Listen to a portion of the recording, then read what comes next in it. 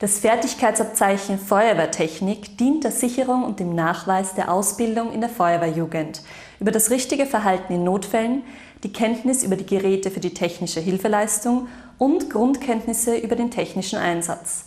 Und diese Prüfung stellte sich die Feuerwehrjugend nun in Rannersdorf.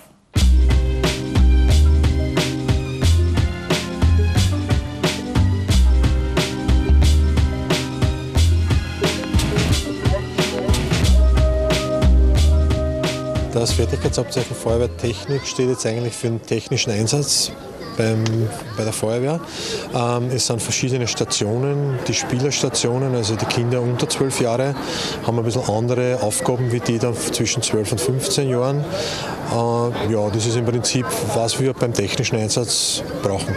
Zum Beispiel äh, Absichern einer Unfallstelle, dann Absichern eines Fahrzeuges, die Stabilisierung eines Fahrzeuges, äh, wie man umgeht mit äh, Flüssigkeitsaustritt, das heißt Ölbindemittel verwenden, ähm, hydraulisches Rettungsgerät, äh, Scherspreizer, genauso wie Hebekissen, also das alles, was man für den technischen Einsatz bei einem Verkehrsunfall, aber auch bei anderen technischen Einsätzen äh, verwenden muss und auch Gerätschaften wie Verbindungen, äh, ja, Verbindungsseile. Also insgesamt haben wir sechs Stationen, wo es oft Doppelstationen sind, weil wir doch sehr viele Teilnehmer haben und dass es dann ein bisschen schneller geht, haben wir Doppelstationen.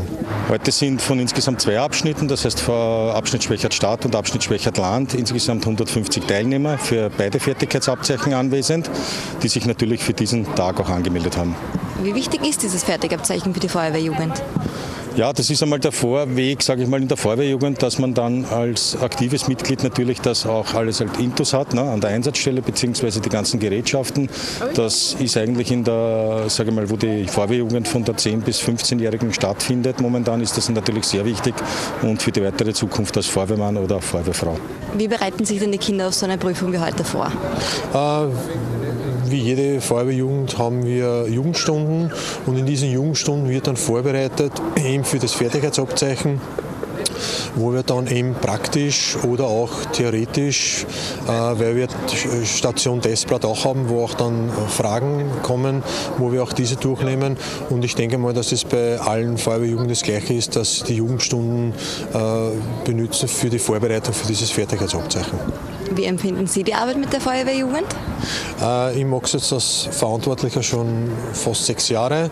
Ich bin in der Jugend jetzt schon knappe zehn Jahre tätig und ich mag es sehr, sehr gerne und vor allem, ähm, es ist viel Aufgabe, aber wenn man dann vielleicht ein, zwei Jahre später schon mit einem Burschen, der was zwei Jahre vorher noch bei dir in der Jugend ist und dann mit ihm schon am Feuerwehrauto sitzen zum Einsatz fährst, machen wir das stolz, dass sie dann doch auch bei der Feuerwehr bleiben und diesen, diese Freizeit, dieses Hobby ausleben.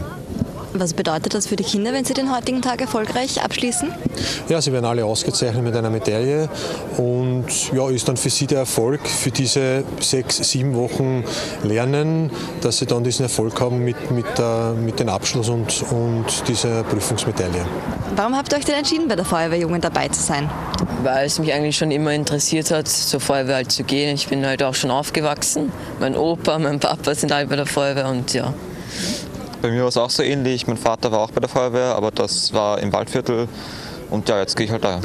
Ist man auch ein bisschen stolz auf seine Feuerwehrjugend? Dadurch, dass wir nur eine zentrale Feuerwehrjugend haben in meinem Abschnitt, muss ich sagen, da ist man sicherlich sehr stolz und ein großes Lob an die Betreuer von Schwächer Trannersdorf, die das natürlich wie immer sehr gut und sehr fein organisieren.